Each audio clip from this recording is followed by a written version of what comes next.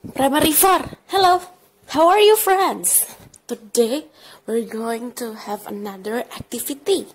We're going to write down things about you. First, I will need you guys to take a paper. You can use the paper that EduHouse already gave you, the white A5 sized paper or you can use any paper that you have at your house. Next, please prepare your scissor, eraser, marker, pencil, and ruler. Next, let's make some lines and the width of the lines are 1 centimeter.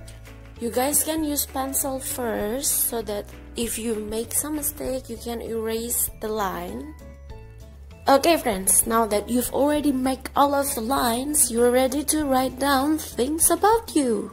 So first, let's talk about the things that you like friends. Please write at least three sentences about the things that you like. So here let me read to you some of the examples of the things that you like. I like the rain. You can also use the word love. I love my family and friends.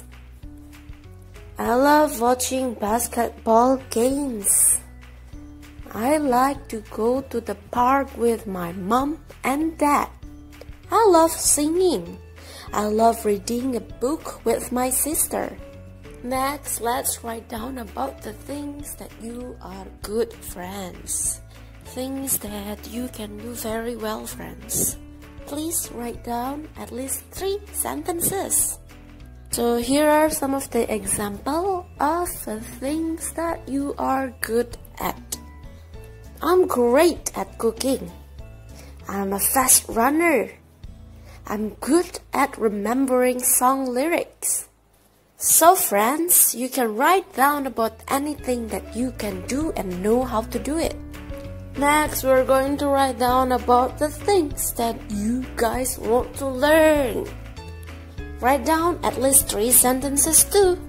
And here are some of the examples. I want to learn about the animals. I want to go to Japan. I want to make my own song. I want to learn how to play basketball. And then the next question. If you are a superhero, what power that you want to have friends. So here's the example. If I were a superhero, my power is growing plant. So here I wrote down that the power that I want to have is growing plant. So I want to be able to control the growth of a plant. So I can turn a small sprout into a big tree instantly. Okay, so the next question, friends. How will you help others if you have the superpower? Primary 4, let's imagine if our class has students with superpower. Wow. So here is my example. With the plant growth power, I will help others by growing more trees for the world. Okay, that's all for today's activity. Thank you so much Primary 4 for watching. Bye bye friends, I'll see you guys again very soon.